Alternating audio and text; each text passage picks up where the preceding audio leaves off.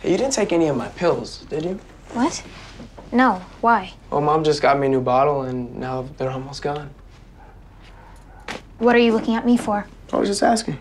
We'll ask Brandon or Callie. Excuse me, I gotta go. Is that how you got all that money? You selling my pills? No. 'Cause I know sure as hell you didn't get all that money from mom. Or maybe you did. Maybe we should ask her. Why? Why would you do something so stupid? You could go to jail for that. What do you need all that money for anyway? I've been talking to Ana. Ana? Our, our birth mom?